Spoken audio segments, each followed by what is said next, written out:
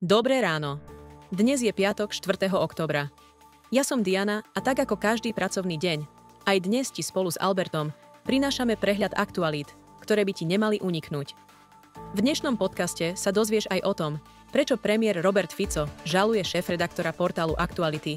Aké zmeny schválila vláda v zákone o cestnej premávke, ktorý súvisí s vlastníctvom a držbou motorových vozidiel A akú kontroverziu rozpútal bývalý podpredseda Národnej rady Slovenskej republiky Peter Pčolinský.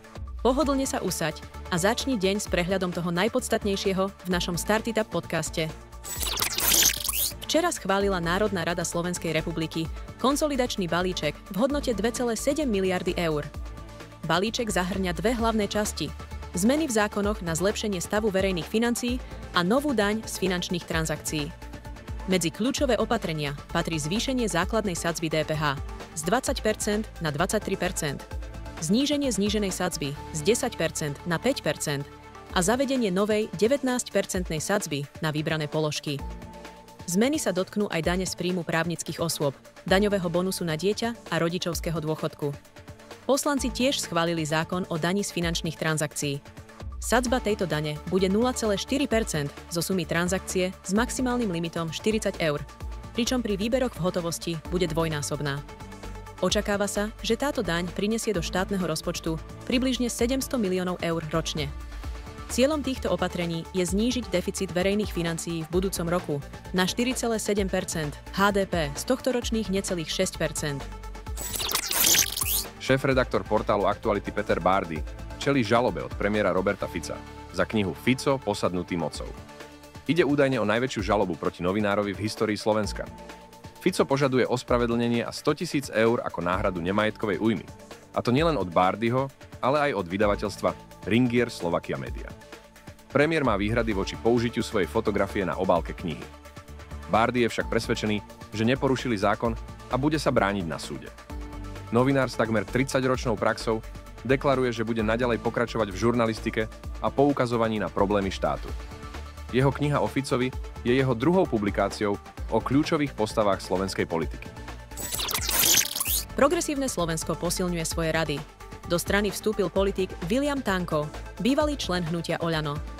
Tanko, úspešný boxer a jeden zo štyroch rómskych poslancov v parlamente, sa pripojil k poslaneckému klubu Progresívne Slovensko, ktorý má aktuálne 33 členov. Tanko ostro kritizoval súčasnú vládu za nesplnené sluby a zhoršujúcu sa situáciu občanov.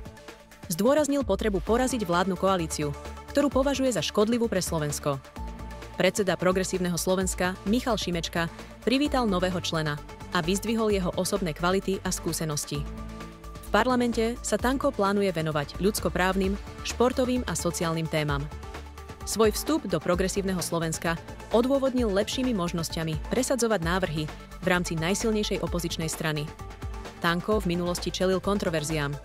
V apríli sa spájal s incidentom na turnaji Fight Night Challenge, kde kopol do ležiaceho zápasníka, za čo sa neskôr ospravedlnil. Prezident Slovenskej republiky Peter Pellegrini podpísal novelu zákona o príspevku na pohreb. Od začiatku budúceho roka sa tento príspevok zvýši zo súčasných 79 eur a 67 centov na 200 eur. Toto navýšenie má pomôcť rodinám lepšie zvládnuť finančnú záťaž spojenú so stratou blízkej osoby a zohľadniť nárast životných nákladov, vrátane cien pohrebných služieb.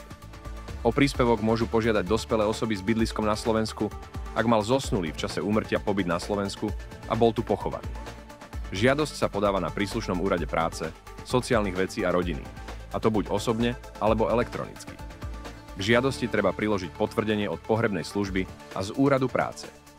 Prezident zároveň schválil zvýšenie rozpočtu fondu na podporu kultúry národnostných menšín na 8,8 milióna eur. Toto navýšenie súvisí s uznaním vietnamskej národnostnej menšiny ako 14. oficiálnej menšiny na Slovensku. V dôsledku toho sa zvýši aj počet členov správnej rady fondu z 15 na 17. Vláda schválila zmeny v zákone o cestnej premávke, ktoré zjednodušia evidenčné úkony súvisiace s vlastníctvom a držbou motorových vozidiel. Tieto zmeny sa dotknú fyzických osôb aj podnikateľských subjektov, medzi hlavné novinky patrí zavedenie jednorazových tabuliek s evidenčným číslom zo syntetického polyesteru, a to pre nové aj dovezené vozidlá, čo zníži administratívnu záťaž pre motoristov. Prihlasovanie nových a jednotlivo dovezených vozidiel bude možné na ktoromkoľvek dopravnom inšpektoráte bez ohľadu na miesto pobytu držiteľa.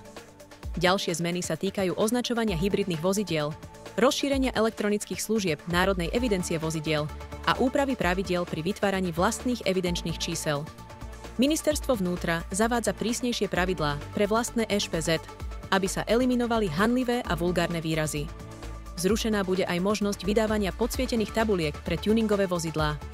Zmeny sa dotknú aj systému vytvárania diplomatických evidenčných čísel a okruhu subjektov, ktorým môžu byť pridelené. Bratislave sa rozputala kontroverzia okolo vyjadrení bývalého podpredsedu Národnej rady Slovenskej republiky Petra Pčolinského o hudobných kluboch. Pčolinský vo svojom príspevku na sociálnej sieti označil tieto podniky za drogové hniezda a použil fotografiu známeho klubu Pink Whale. Majiteľ podniku, Ľuboš Šoška, sa voči týmto tvrdeniam rázne ohradil. Zdôraznil, že ich podnik nikdy neporušil zákon a spolupracuje s políciou. Šoška požiadal politika o vymazanie príspevku a verejné ospravedlnenie. Pričom naznačil, že dôvodom útoku môže byť dúhová vlajka na ich lodi. Čolinský medzičasom príspevok odstránil, ale verejné ospravedlnenie neposkytol. V inom príspevku obhajoval policajné razie v kluboch, pričom kritizoval liberálnych moralistov za ich sťažnosti na tieto akcie.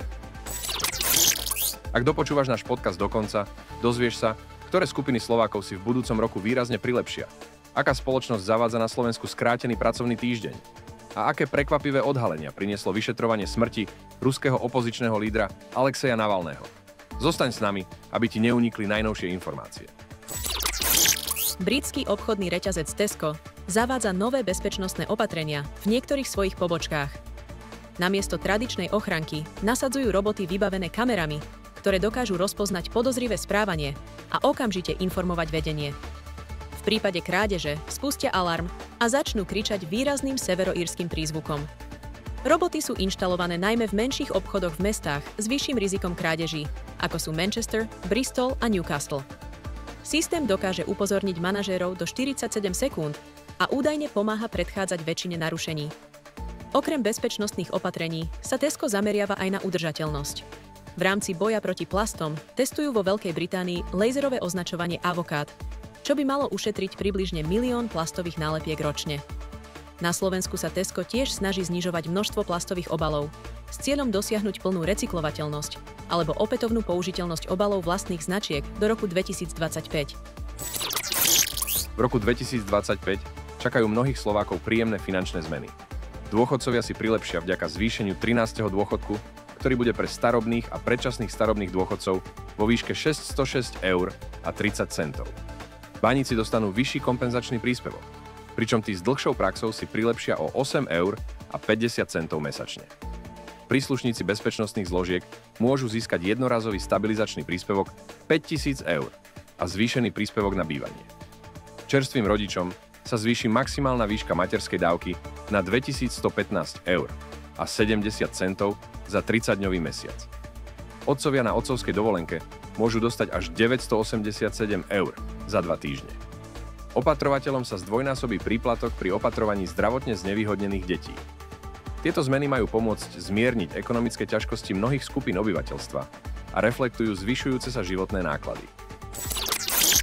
Bratislave sa vo štvrtok popoludní odohrala tragická dopravná nehoda na kryžovatke ulic Brňanska a Prokopa Veľkého pri Patronke. Zrazili sa dve osobné autá, pričom jedno z nich patrilo taxi službe Bolt. Pri nehode zahynula chodkyňa, ktorá údajne prechádzala cez cestu mimo priechodu. Vodič taxíka sa snažil zrážke vyhnúť, no neúspešne. Na mieste zasahovali hasiči, policajti a záchranári. Dve osoby utrpeli zranenia a boli prevezené do nemocnice. Išlo o vodiča taxíka a jeho spolujazdkyňu. Pasažieri druhého vozidla neutrpeli žiadne zranenia. Hasiči pomáhali so záchranou zakliesnenej osoby pomocou hydraulického zariadenia a vykonali protipožiarne opatrenia na vozidlách. Operačné stredisko záchranej zdravotnej služby vyslalo na miesto tri ambulancie. Doprava v oblasti nehody bola obmedzená. Príčinou nehody bola pravdepodobne nepozornosť pri odbočovaní. Slovenská pobočka nábytkovej spoločnosti JISK zavádza od septembra budúceho roka 37,5 hodinový pracovný týždeň bez zníženia mzdy. Toto rozhodnutie prinesie zamestnancom ročne až 2 týždne voľna navyše a zvýši ich priemernú hodinovú mzdu. Iniciatíva vznikla po prieskume spokojnosti zamestnancov a má za cieľ zlepšiť rovnováhu medzi pracovným a súkromným životom. Vedci už dlhšie upozorňujú, že 8-hodinový pracovný deň by sa mal stať minulosťou. Štúdie ukazujú, že príliš veľa práce môže viesť k stresu a únave, zatiaľ čo nedostatok práce môže spôsobiť psychické problémy. Jeden výskum dokonca naznačuje, že ideálny pracovný čas by mal byť len 8 hodín týždenne. S nástupom umelej inteligencie a robotizácie sa mení aj trh práce. Odborníci predpokladajú, že zamestnávateľia sa budú musieť prispôsobiť týmto zmenám. Wim Hof, známy ako ľadový muž, sa dostal do pozornosti médií kvôli odhaleniam o jeho súkromnom živote. Holandský denník Volkskrant zverejnil správu, v ktorej jeho bývalá partnerka Karolín a deti opisujú roky fyzického a psychického násilia.